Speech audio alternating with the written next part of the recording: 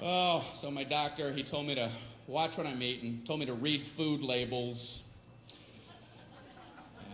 I'm in the store reading the Fig Newtons label.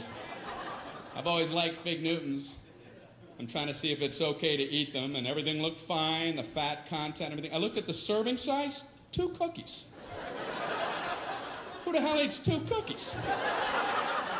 I eat Fig Newtons by the sleeve. Two sleeves is a serving size. I open them both and eat them like a tree chipper. Fig Newton shavings coming off the side.